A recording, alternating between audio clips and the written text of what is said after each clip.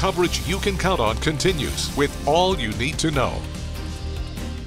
The U.S. Senate voted to start work on a nearly $1 trillion national infrastructure package. The vote came together quickly last night after President Joe Biden and a bipartisan group of senators reached an agreement on the key part of the White House agenda. But it's unclear if enough senators will eventually support final passage. The process could take days. The CDC is recommending universal masking inside again. That includes vaccinated people. Local health officials say things are not all that different from the way they were before. There's no mandate in place. They say everything is up to the individual and their personal situation. Now, the Vigo County Health Department says it is prepared if cases continue to rise. They say if you have any questions, you can go to its website or give the department a call. The amount of plasma donors has significantly been decreasing since the, the, pandemic began. Health experts say donating plasma can save lives and help those infected with COVID 19. Since last year, statistics show plasma donations are down about 20 percent.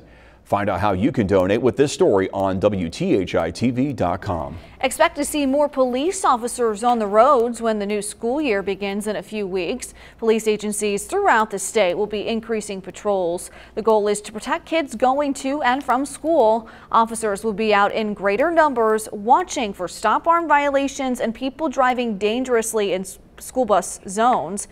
The back to school blitz runs through mid-September. It is going to be hot, humid, dangerously hot for some. Temperatures in the mid 90s this afternoon. The heat index actually closer to 110 in some places.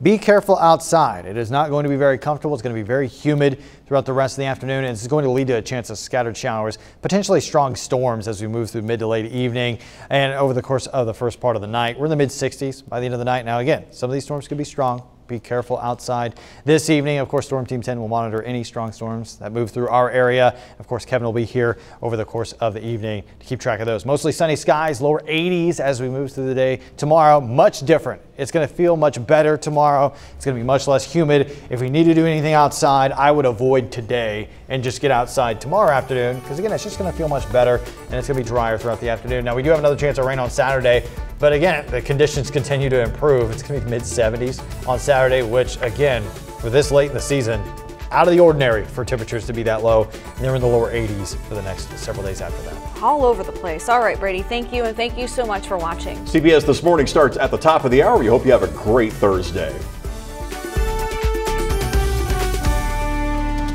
For the most local news, every newscast, every day, you can depend on News 10. Coverage you can count on.